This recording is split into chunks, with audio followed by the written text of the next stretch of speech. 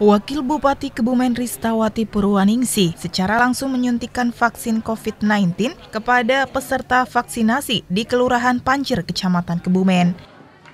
Hal tersebut dilakukan Wakil Bupati di sela-sela saat meninjau pelaksanaan vaksinasi COVID-19 di kantor Kelurahan Pancir, Kamis 16 September 2021. Hadir mengikuti peninjauan ini, anggota DPRD fraksi PDIP Noviandri Dwi Alhadi, serta Kepala Dinas Kesehatan Kabupaten Kebumen Dwi Budi Satrio. Pelaksanaan vaksinasi berjalan dengan lancar. Masyarakat cukup antusias mengikuti kegiatan yang dilaksanakan dengan menerapkan protokol kesehatan secara ketat. Vaksinasi kali ini mentargetkan 1.200 peserta.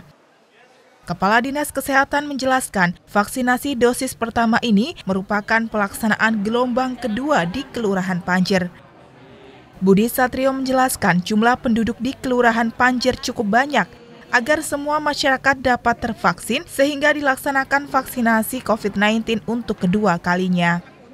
Lebih lanjut menyampaikan, pemerintah Kabupaten Kebumen mentargetkan masyarakat di wilayah khususnya di sekitar kota dapat tervaksin 100 persen. Eh, kita akan vaksin desa-desa yang sudah mulai hijau atau yang berisiko rendah kita vaksin. Tetapi karena kelurahan itu jumlah penduduknya banyak, maka tidak bisa satu kali, jadi beberapa kali baru selesai 100% dari seluruh warga. Nah ini yang kali yang kedua. Ini suntikan pertama tetapi gelombang kedua gitu, seperti oh. itu. Harapannya eh, pemerintah kabupaten, kelurahan yang mengitari kota itu harus sudah tervaksin semua 100%.